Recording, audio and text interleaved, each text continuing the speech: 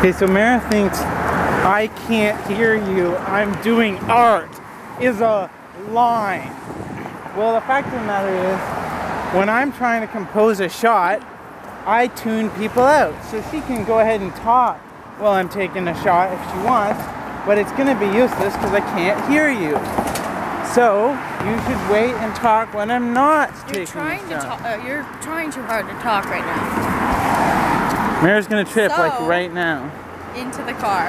Wouldn't that be great to have that on film? You wouldn't try to grab my arm or anything. You just keep filming.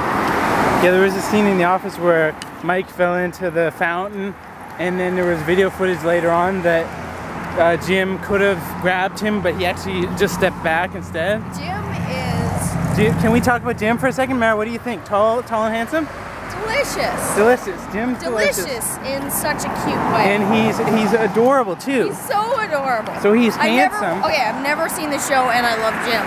He's handsome So and adorable.